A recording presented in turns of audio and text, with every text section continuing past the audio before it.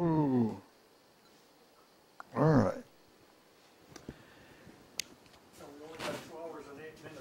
It's going to be maybe 45 minutes. The talk previous to this talk was the final talk that was dedicated primarily to the world of thought.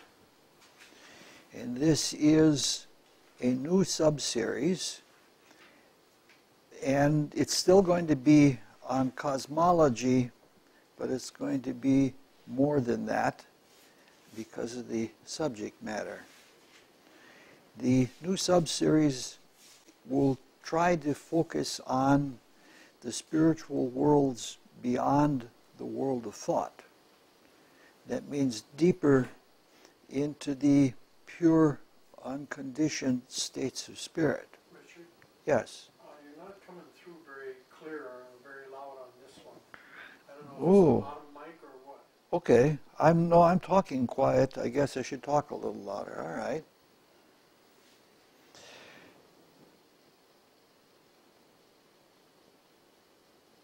We're when we talked about the world of thought, especially the abstract subdivision of the world of thought, we um, were not very thorough. And that was by intention because what we're going to be doing now is going to uh, supplement that, or it's going to fill that in more than was possible before. The reason why we didn't, we won't have a lot to say about what we're talking about now is that direct experiences in the spirit are rare.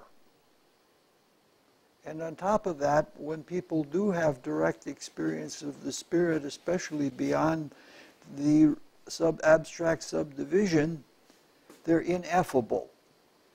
They are things that cannot be put into words, they cannot even be put into pictures or anything near concrete to uh, share the experience.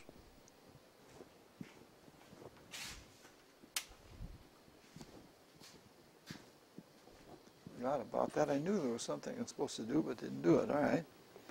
So, what we're going to do is by reflection, by ideas, we're going to try and point at things that are deeply transcendent and things that are not really capable of being put into words. So we're going to sort of give ideas that point to realities, but not directly the realities themselves.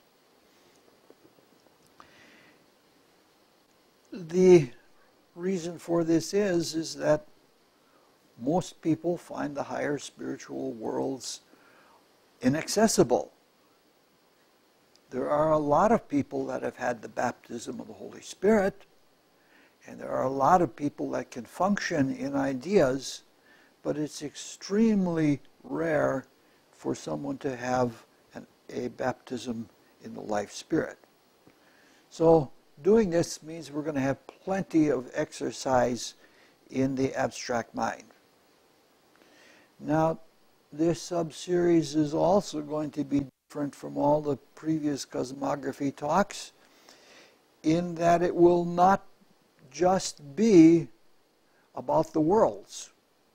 It's going to there's, we're going to do a lot of talking about personification of spiritual worlds in distinct beings. Uh, especially, we're going to do that with regard to the world of the life spirit.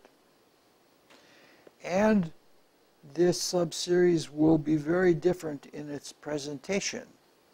I'm going to try and make it a little bit more modular because some of the ideas it will take several modules to get the whole idea across.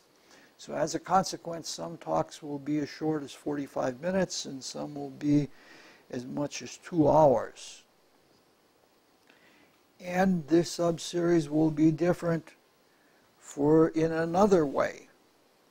In all of the other talks so far that we've gone into, except the first six introductory talks, we have drawn from Christian mysticism.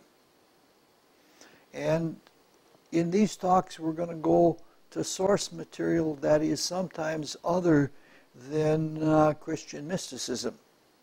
Now, that seems rather odd because the title of this sub-series is Christ, the Life Spirit, and Beyond.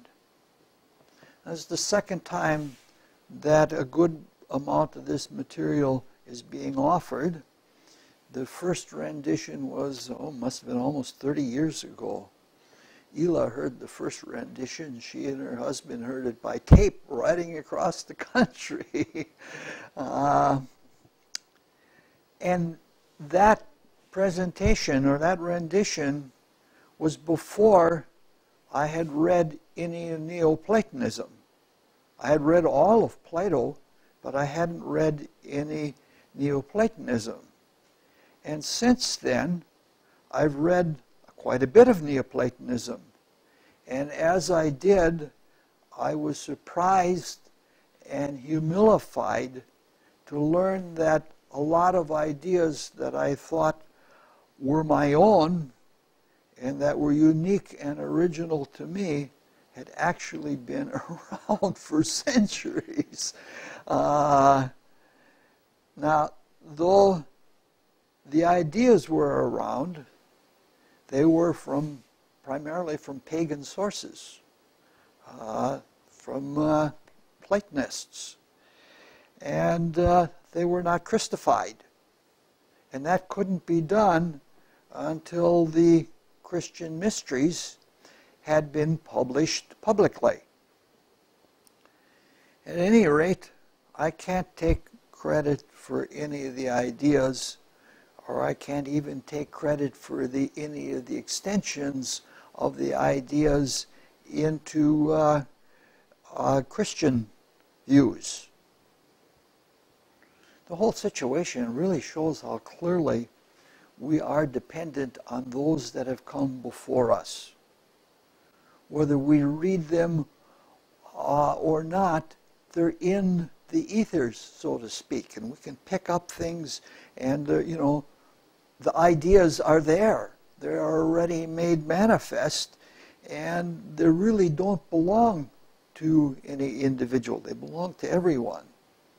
So, as a consequence of this, when I got over my humili humiliation, I found that I have nothing but admiration for the people that have come before and what they have given to us. Now, the ideas that we are going to add to Christian mysticism are mostly from Neoplatonists. And I'm not sure all of them, in fact, I'm pretty certain that all of the Neoplatonists, were they alive now as they were then, would agree with what is being said. The best example is Plotinus. And Plotinus had anywhere from three to five experiences in what we call the world of life spirit. But he could not become a Christian.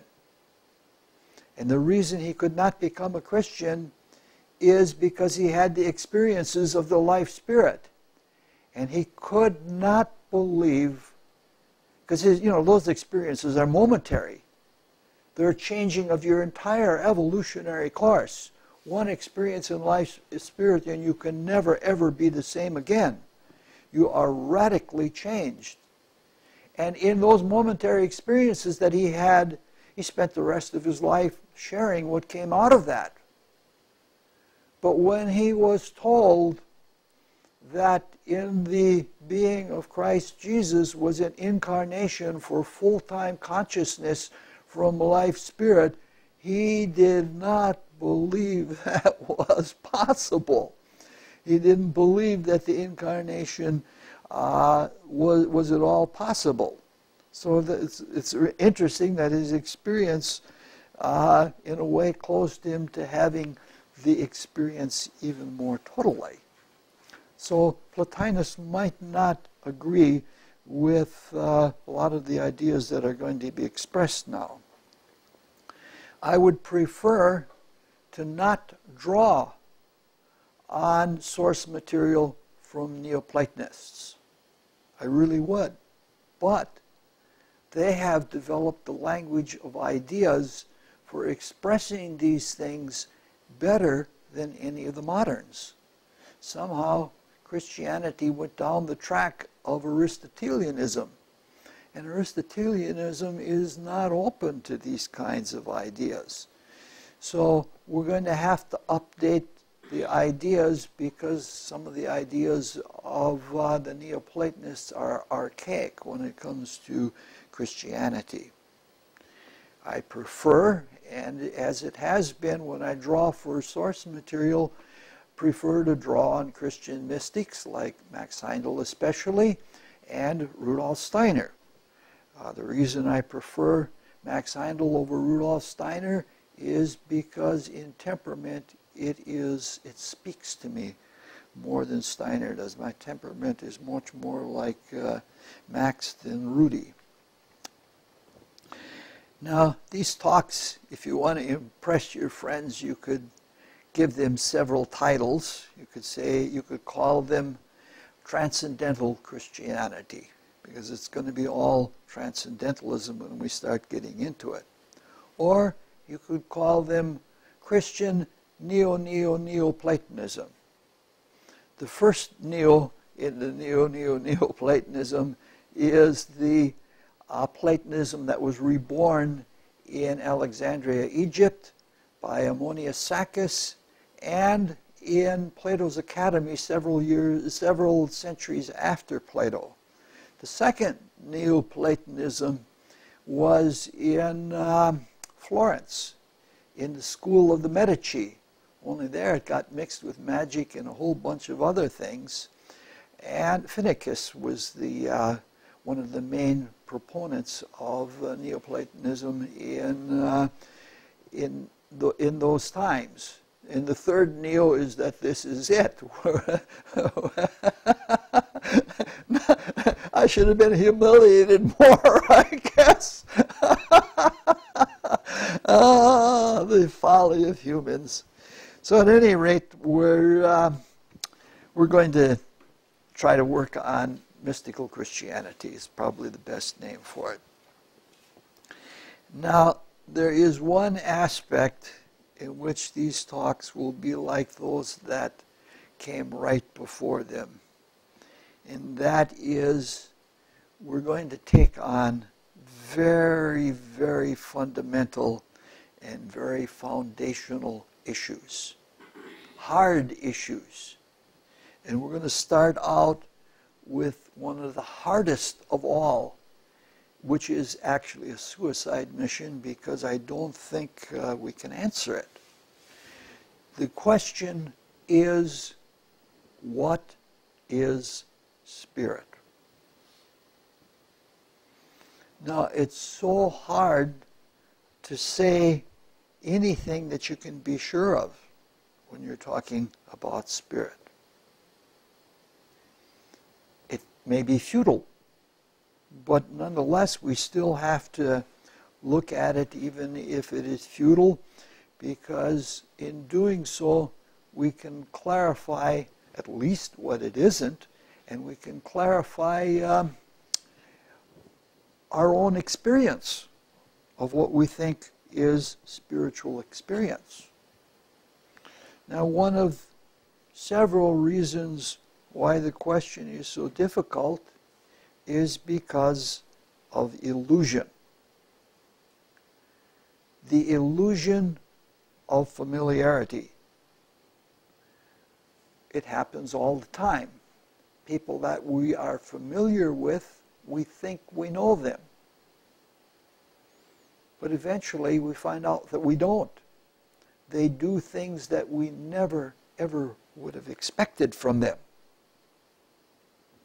among people like ourselves, we hear the word spiritual frequently. In these lectures, uh, at least several times in every lecture, we've used that word.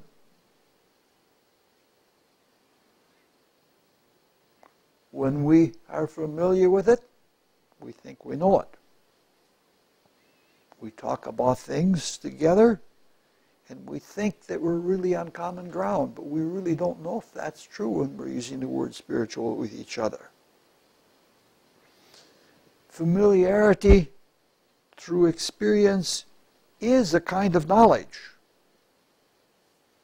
Like if we learn to go across town to our friend's house, we have the experience of the city, and uh, that is knowing it.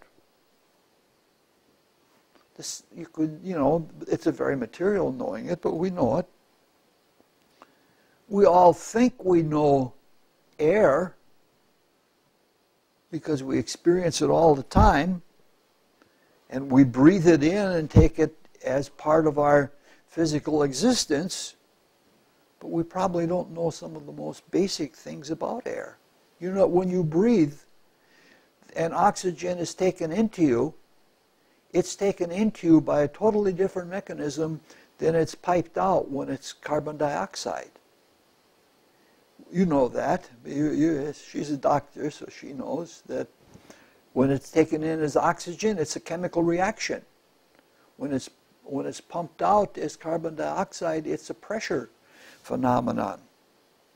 So these are things that we think we know but don't and to admit to ourselves that we don't know our basic essential being is difficult.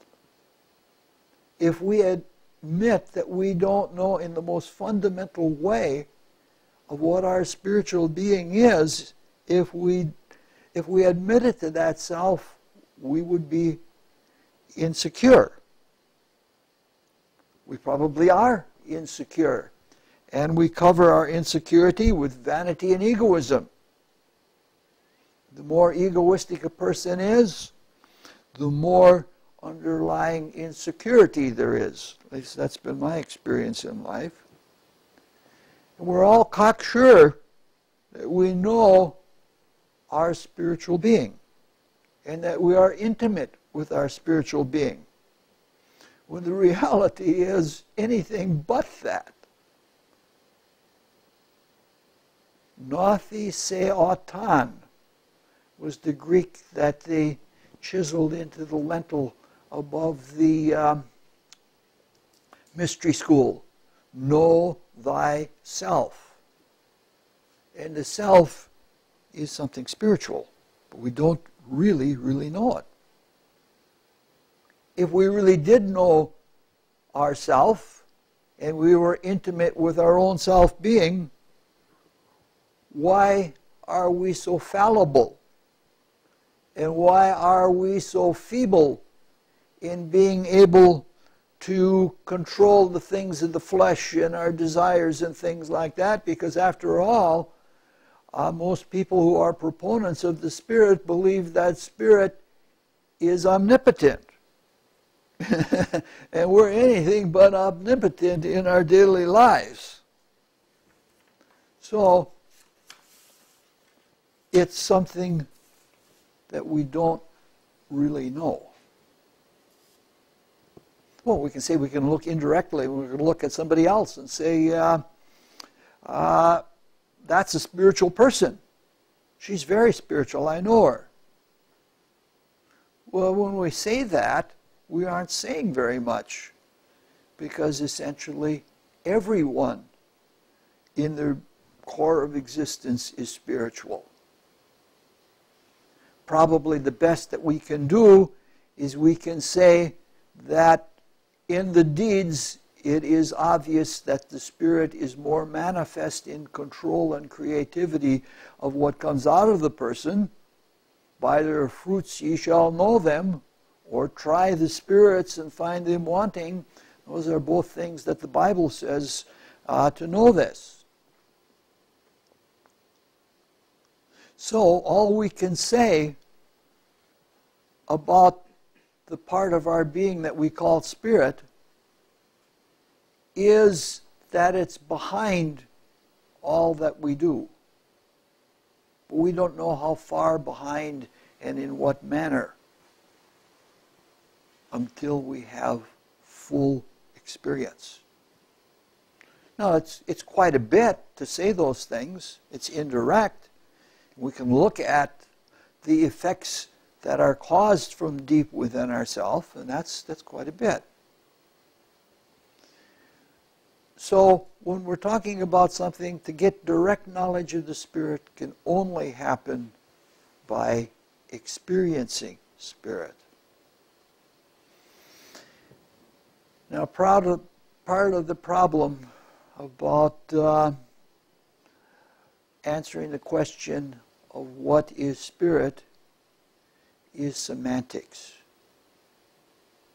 The word spirit has many different meanings, and probably most of the meanings of the word are not about pure spirit.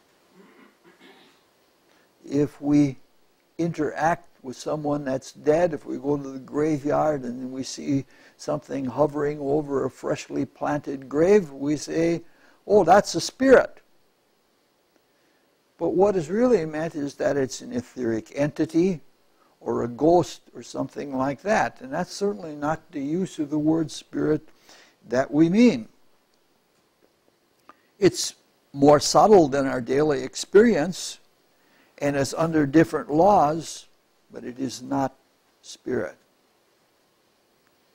If we go to an athletic contest and uh, lose our emotional composure and get carried away by sweeps of emotions running through fans, we say that we have team spirit. We're charged up and we do things under a motivation that is not our own, and that's similar to the Spirit, but what we're really experiencing is a manifestation of a sweep of desire through the desire world. That's not spirit. But we use the word spirit. If we imbibe alcohol, our consciousness is different and the way we look at things is different. Often we think it's better, but it really isn't. Uh, and we say that someone is under the influence of spirits. That's not the case. That's a different use of the word spirit than we're trying to get at. Unfortunately, a lot of Mideastern mystics used to describe, not having any other way to describe it, the joy that they felt from uh, spiritual experience within themselves, they called that spiritual intoxication. And they called the meditational means to come to that experience, they called that spiritual wine. So it was an unfortunate choice of words because the word intoxication literally means poisoning. Detox means taking the poison out of the body.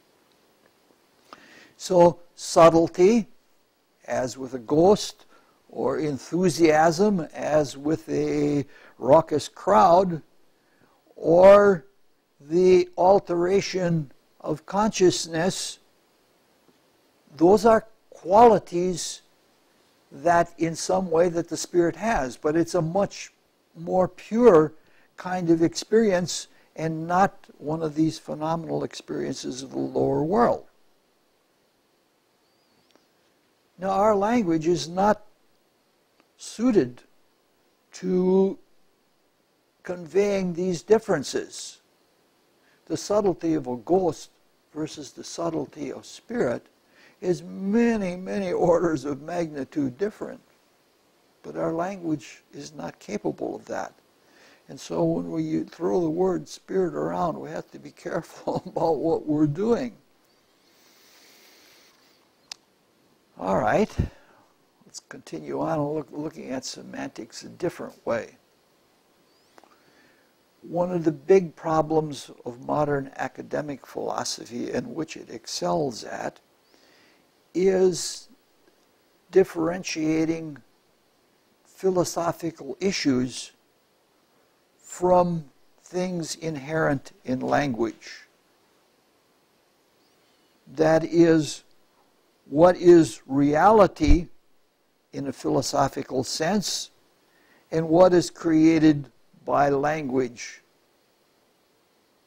By that we mean what Hamlet said words, words, words.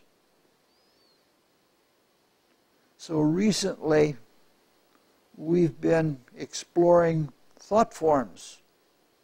And we've said that those thought forms are expressions of truth and vehicles for truth, which mystics claim the truth is living transcendental experience.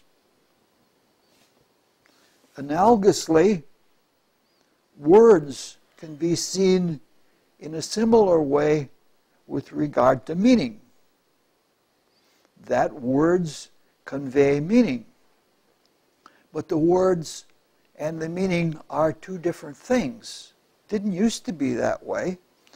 It used to be that words, if you look in very ancient times, in, to some extent you still find it uh, quite prevalent in Sanskrit, that all the words were names of gods. And the qualities and properties and actions of the gods became what the words were.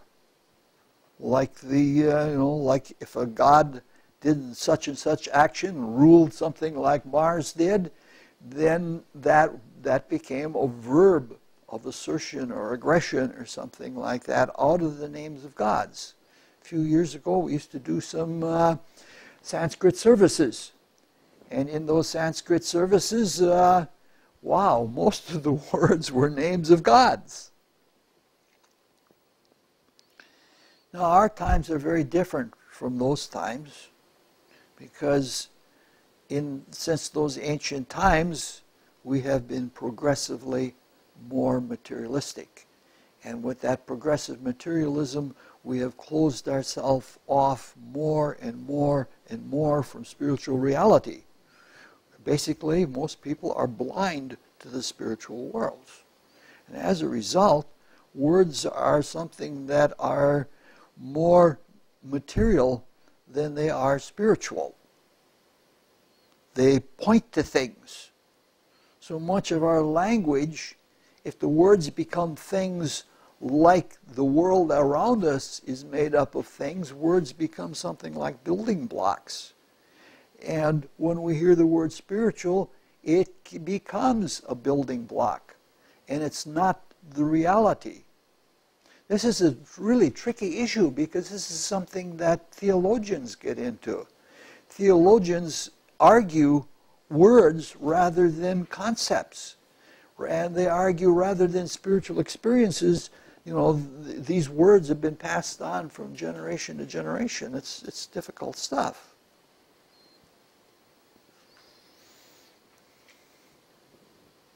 So, in our world, language is not suited for conveying transcendental things like spirit.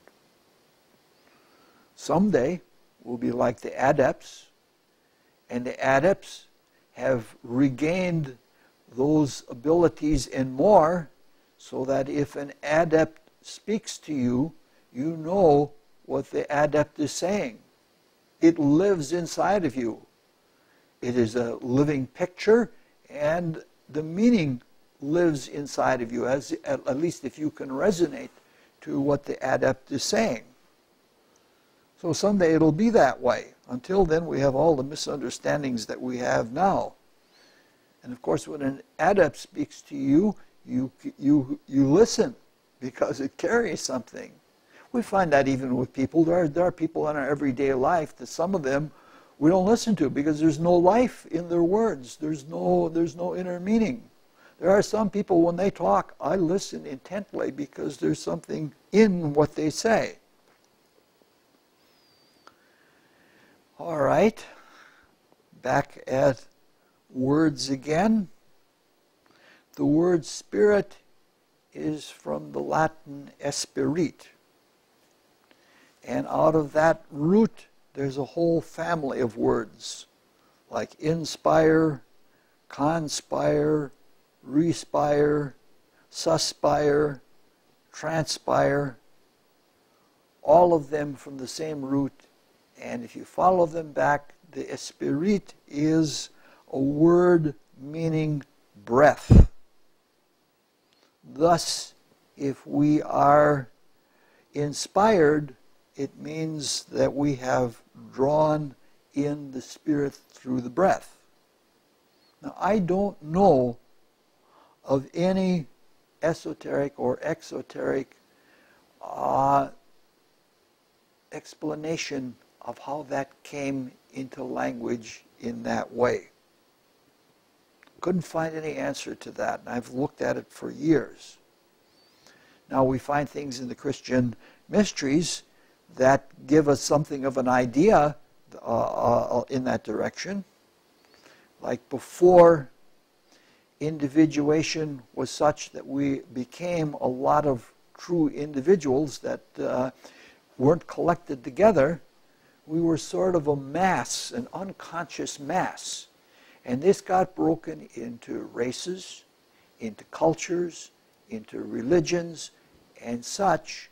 And they became vehicles for people to get more specific experiences.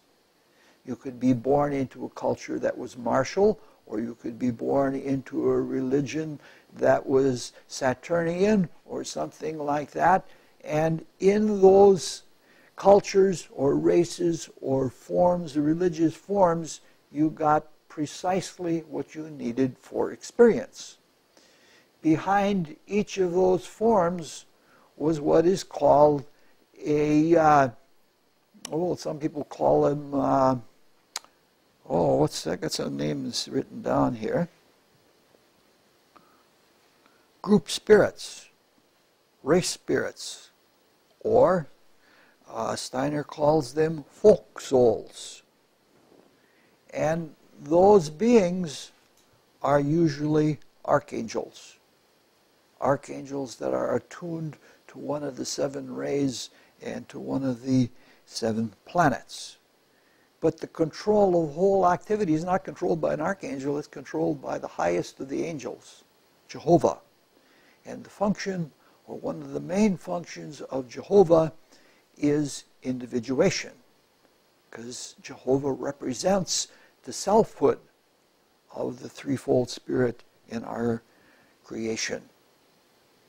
So, the object is is to get more to get precise experience to people that they need and in the process produce break down more and more collectives until you have individuals and when you have individuals, they become self conscious, and when they become self conscious, they can reunite with each other voluntarily in what we call Christian altruism.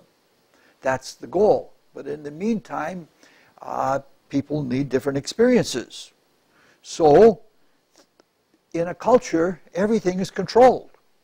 Not just the breeding, but the uh, language, the diet, the clothing, the mythology, they're all controlled, but especially language. Language is what differentiates.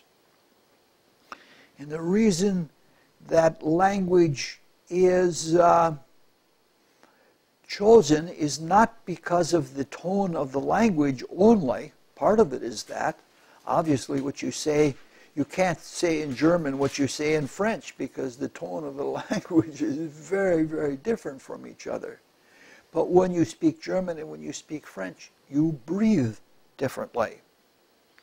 And the thing that is put out by modern Christian mystics with their clairvoyance is they say that a religious spirit or a cultural spirit hovers over the area where the people live that it is in control of.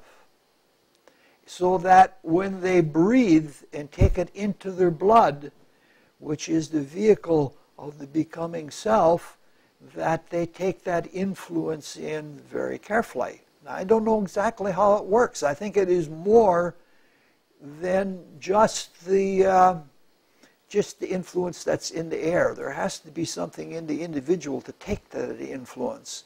And the reason I say that is because I've been in countries that are very highly nationalistic. And you can feel that there's a spirit in it. But you're breathing in that air and it isn't affecting you. So that, at least it didn't affect me. Uh, I've heard people say, I'm a Paraguayo. And uh, they're really big on that. And I was standing there next to them, breathing the same air they were, and it was so there has to be some has some kind of in, interchange. So, what we're talking about is that in the past, individuation was more rare than it is now, and consequently, almost everyone was uh, under some kind of tutelary spirit, some kind of group spirit of one type or another. And if they weren't, they were try, they tried to force them under the spirit. Either either you come join us or we stone you, which was also good for the individuation because you had to really prove your individuality or strengthen it by willing to do in, be doing anything in order to uh, uh, in order to be uh, yourself or true to yourself. So, in any case, guidance or spiritual influence has intentionally been used by creative hierarchies to bring us to the experience that we need, and their ingress was primarily through the breath. So, it wasn't spirit in a pure sense of spirit, meaning breath as it does in Latin, but something along that line. And I don't know if that is how it came to be uh, in the language as it is now uh, at all. All right. Now, there are other possibilities in all of this. In terms of the four creative elements fire, air, water, earth Fire is the prime element because it is it has no antecedent in transformative power. These elements are creative elements, and boy, I'm just reading Jakob Böhme, who writes from experience, and wow, in my all the years I've been studying mystical things, reading him talk about fire, air, water, and earth, it was a matter of experience to them. And he wasn't looking at fires out there, he was seeing inner fire and such. And it just, wow, the man really, really had the goods. But at any rate, um, they're all, uh, correspond very nicely to energy, gases, liquids, and solids. But they're underlayment by the principle of analogy as above, so below is that they go more deep. In that fire represents spirit, air represents mind, water represents desire, and uh, earth represents stuff, the, the, physical stuff that we uh, experience all the time. Now, as humans have closed themselves off from the higher worlds, fire is seen basically as an invisible energy. Now, even in analogy, we know here that there is no fire without air. Air then becomes the vehicle for the driving force. And inspired people are driven people. This is true in the human dense physical body as well. The air that comes in, that gets oxygenated, which is a form of burning, is, uh, you know, the oxygenated air in terms of consciousness is altogether different than the carbonated air that is coming out of our bodies. It's a common practice in many schools, and I think almost every spiritual student has tried it at one time or another to watch yourself while you breathe and see how your consciousness uh, changes with the different phases of suspiration. In inspiration, different things happen in your consciousness, and then there comes a turning point before you breathe out that it changes. Now, it could just be a matter of air being the most subtle thing that we experience in the physical world. That we talk about breath being spirit. However, the people who have the more direct influence of the Spirit see it differently. Their view is similar, but uh, not congruent to that of astrology. In astrology, the air element is associated with intellectual activity. Now, since the mind is the closest vehicle to the uh, spirit, and it is the most responsive vehicle, it's easy to see why the air could be seen as not only the instrument but the embodiment of the Spirit.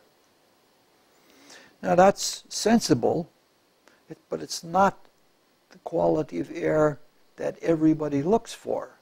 Again, even people who have experienced the Spirit in very mild ways recognize that air is very free and it's very fluent.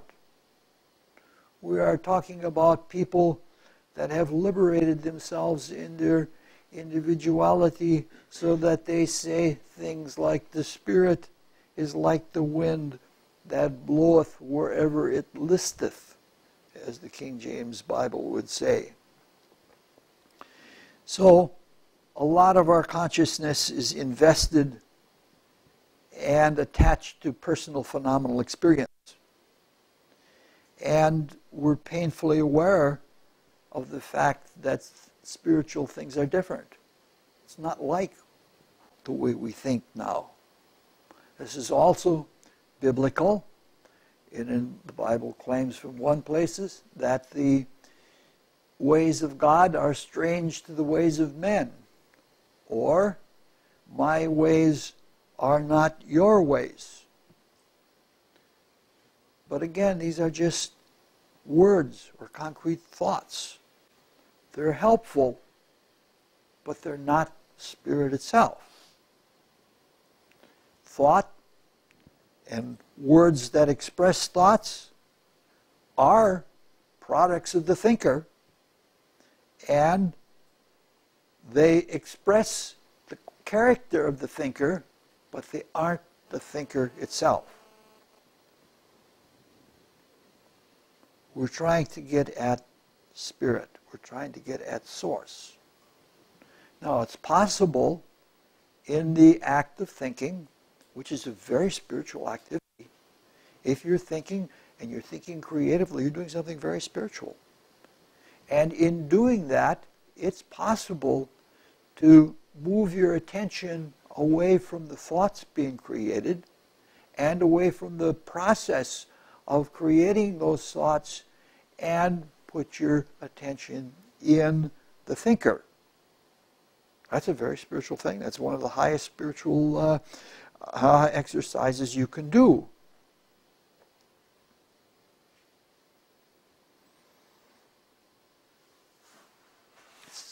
we have to let go when we do that. And that's a very, very hard thing to do. Now, it's probably obvious to all of you by now that our quest to answer the question of what is spirit is a futile failure. Oh, it's hard to put notes like this together because you just recognize that every step of the way, you're failing. Hard, hard week for me this week. So, I hope that everyone realizes that it has to be a failure because of the very nature of the subject. Probably one of the best things that can come out of an exercise in futility like this is a uh, breaking away of our prejudices and superstitions and presumptions and all of those things so that if we can just be honest to ourselves that we really don't know what spirit is, we might be able to experience it. But if we assume it's something else, we have already occupied our consciousness with that.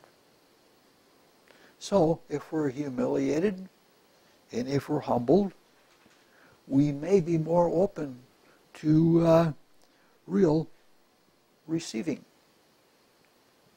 to the real thing of spirit.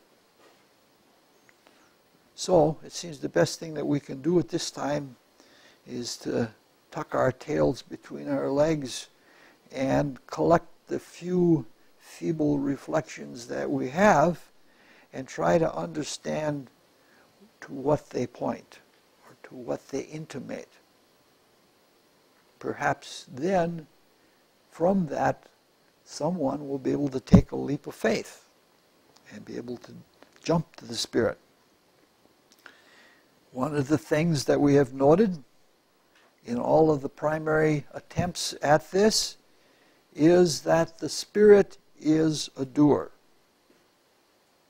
The experience of the Spirit is not a passive act. However, it may be very, very peaceful and it may be very quiet, but still filled with action or wanting to act or acting in a way differently than we now act. Spirit is behind everything that we experience. But we tend to think about it in direct action.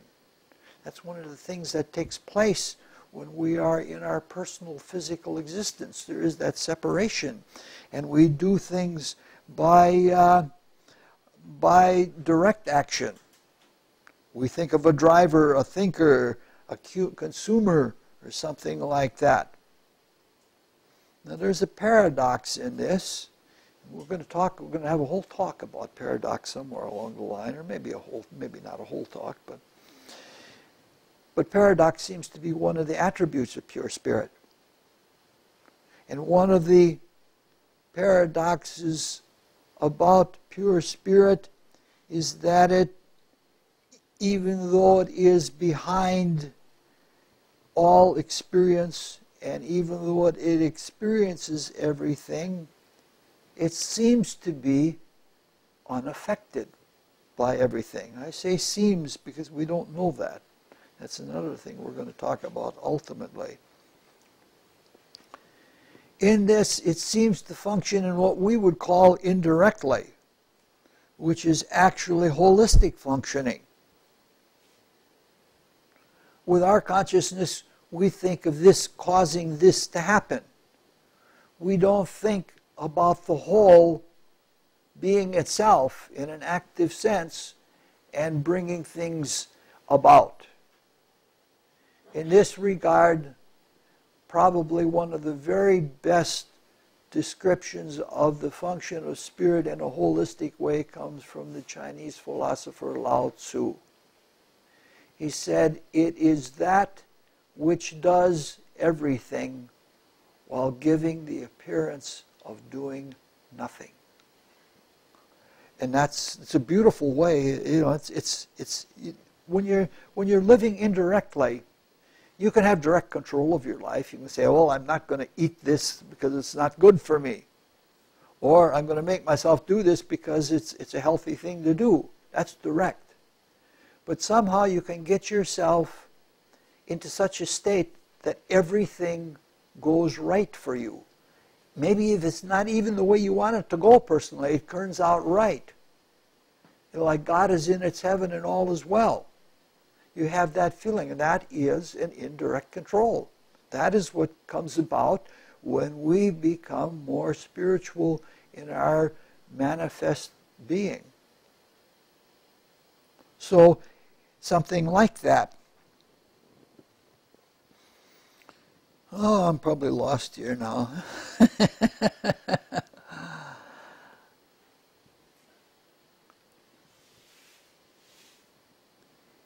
Another thing that we've been looking at, we've been looking at what is called the breath of life. What breathes lives. And there is that relationship between the incarnation of spirit and life. And uh, we understand, we say everything that lives and breathes. It's not just a energetic quality to live. To live is, boy, I have to use the word that I can't even define. To live is to be being one's being in the spirit. It's not desire, excitement, and it's not vitality. It is life living itself. Here, in the physical, we lose life when we get tired or when we die. But life itself is eternal. Life is full of itself. It's auto replenishing. In fact, the deeper you go into the spiritual worlds, the more there is of this character. The physical and etheric get tired out all the time. Desire, you can't tire, tire, tire desire out. But when it comes to real life, that is something that's just full to itself. And so one of the things of it is, it is full of itself to itself and it lives itself to itself so that it is buzzing and that it is brimming and overflowing with life with a capital L. That means it's basically creative. That's what creation is. It's an overflow of the heart of the Spirit.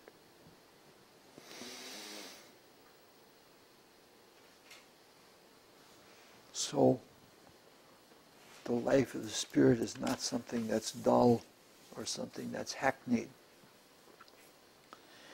Now, one of the other things that we noted earlier, as we're trying to collect it all together, something that we've noted many times before in these talks, and that is spirit is subtle.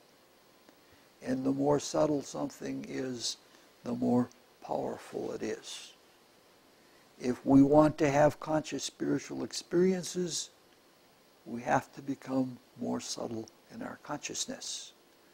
We have to discriminate subtle differences until we get to the thing that is beyond all kinds of experience of consciousness. I don't know how to say these things. So this means becoming more refined and gentle. Those are good things to begin with. To not try to do things by force, which is gross. We have to learn to be quiet and peaceful in our being and in our doing. And it really works. If you've ever been in a group of people that are discussing something and it's an exciting discussion, everybody's, you know, like popcorn, everybody's uh, having uh, discoveries inside of themselves. It's hard to get a word in edgewise.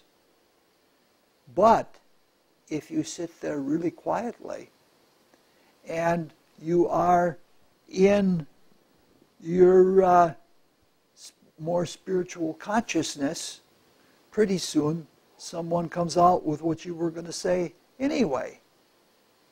And you don't have to be vying and to try to control the conversation or anything like that. It is you are aware of something and its presence in the spirit is felt by someone and it gets expressed. Of course, there's no ego in that. I suppose you can sit there and be egoistic and say, ah, I can control this conversation just by thinking in myself. But what in, in the uh, altruism of the Spirit, it doesn't make any difference who says it. It doesn't make any difference whether it was Newton or Leibniz. That's, that's all vanity stuff. So, the more subtle something is, the more powerful it is. So we don't just receive spirit into our personality. That's how, but that is how it works. But we are received and we become in the spirit.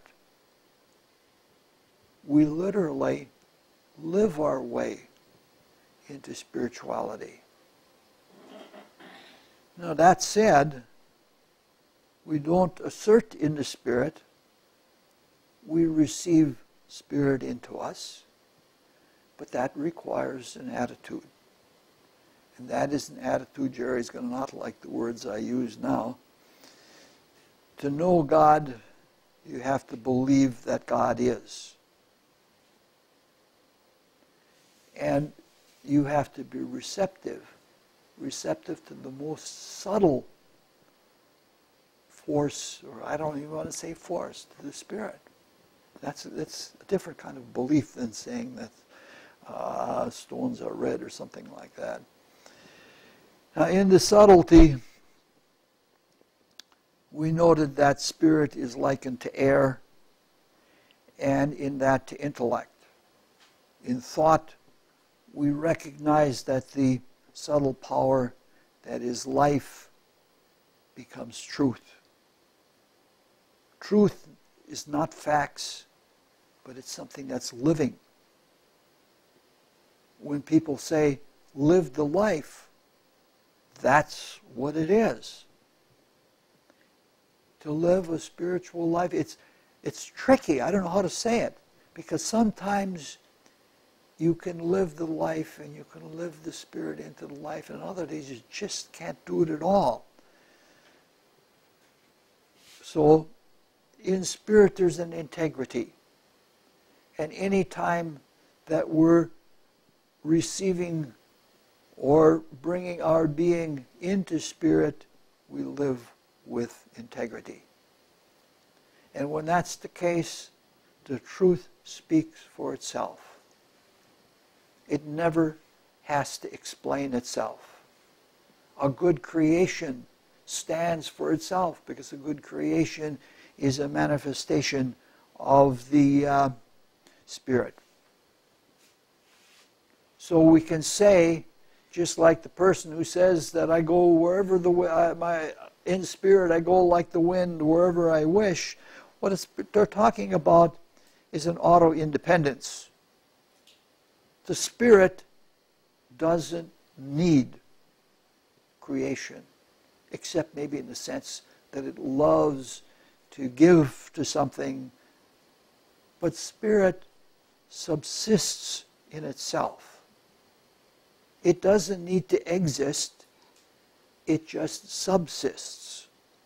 And it exists only in generosity. If there's any need at all, it's a need to give.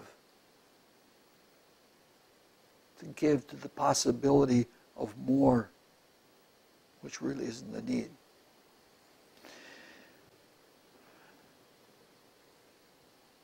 Spirit just is. And that is in both the active and passive sense of the word to be. It is. It's subsistent in itself, and it is in an active way in that it lives. And now an irony. it's obvious from these things that we're trying to point at or reflect at that everything exists in spirit and spirit in everything. Since it is in everything, everything is familiar with it. though in some cases the familiarity with the being of spirit is very distant.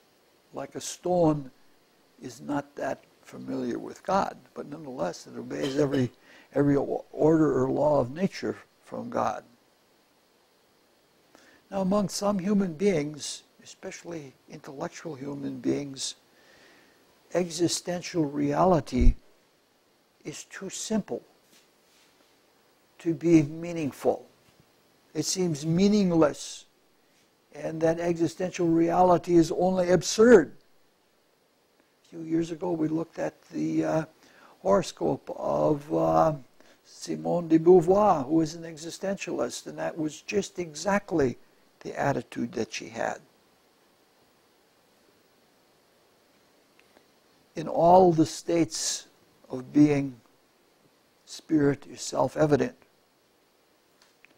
And in pure spirit, as close as we can get to it, the self evidence is overwhelming.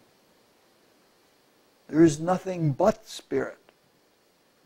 When you get to that realization, then you have experienced spirit. Even getting close, you realize that. But the irony is, that's just where we began. You see that the illusion of being familiar with what we think spirit is closes our consciousness off. But that illusion is a counterfeit of self evidence, which the Spirit surely is.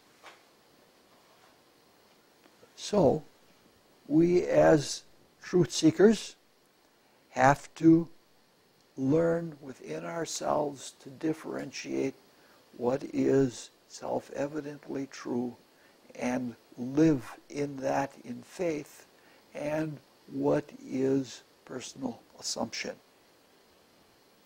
That's all I have. The next time we meet, it's going to be very slow again. We're going to add just one letter to what we've done tonight, and then gradually we start picking up speed and uh, getting into all kinds of things. Question? Yes. Um, you were talking about um, in earlier times what fire meant, air meant versus what it means now. Could you say again what those things? Uh, I just didn't get them down. Fire is the animative force of everything. It is one of the properties of spirit that everything comes into being because of it, every con- thing concrete, which is similar to everything on this level. It's, it's again a principle of analogy energy on this level is what to, to, to solids, liquids, and gases. Energy is to solids, liquids, and gases what spiritual fire is to all of concrete manifestation, thoughts, emotions, things.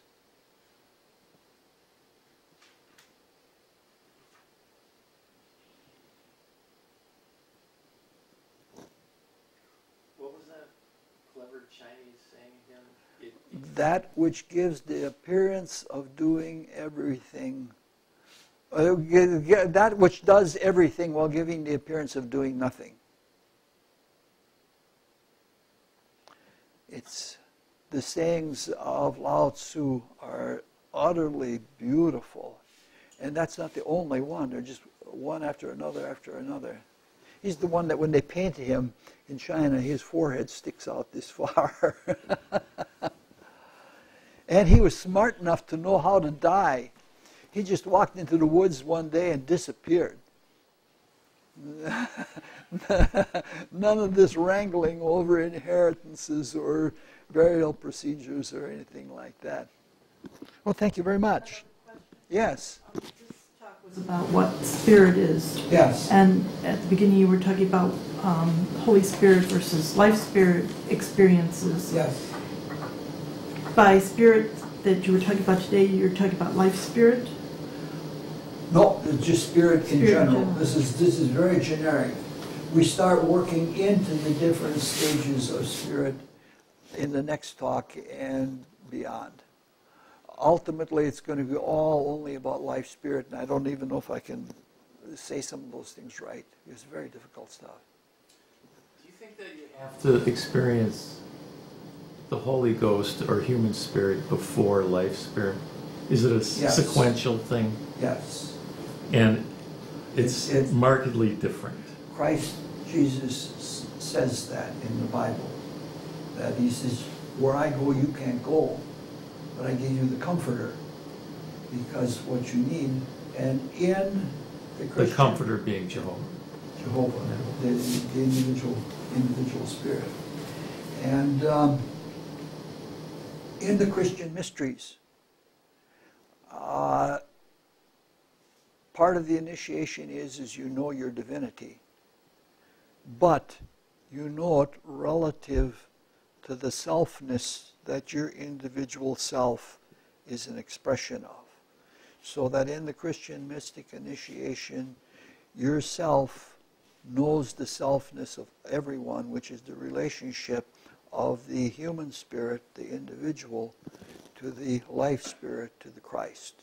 In the Christian mystic initiation, you know Christ and you are loved by Christ. And at the same time, you know your divinity, you know it with humility, knowing what is beyond it uh, at, at the same time. It also relates, if you're reading a lot of Max Heindel, it relates to where Max Heindel says all consciousness is a struggle between the vital body, etheric vital body, and the desire body, because the vital body is reflected into the uh, life spirit, and the desire body is reflected into the human spirit. And in that struggle between uh, vitalization of life and desire manifestation, when that, when the essence of that as soul material is taken into the spirit, it becomes the conversation between the self and the Christ, or between the individual spirit and, and the shared spirit, and that's where all consciousness is born. Consciousness is in the spirit, even though the, ex, the experience is where the consciousness is born. This is a Christian kind of question in terms of just terminology. What Christ said that he is leaving the Comforter, which is the Holy Ghost. Yeah. Um, Or the but- human spirit, or the individual, uh, what, it, it's given. But we already have individual spirit before that. What? But we already had individual spirits before Not that. awake, I see, okay. yeah. Okay. Uh, A baptism by the Holy Spirit is an Awake. awakening to yourself. Okay. Okay.